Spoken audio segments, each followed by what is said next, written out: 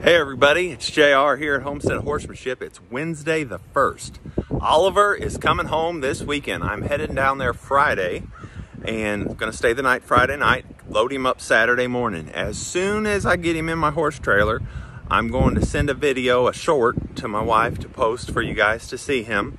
And at that time, we will turn the three original Oliver videos or Clydesdale videos back on to public they were bringing him so much attention that people were looking for him and I was afraid that somebody was going to try to buy him out from under me or it might undermine the deal in some way. Uh, there was other agencies looking for him and now that I'm a steward of this money and uh, and of the horse, I want to make sure that nothing go, causes this deal to go wrong. So I'm sure you understand.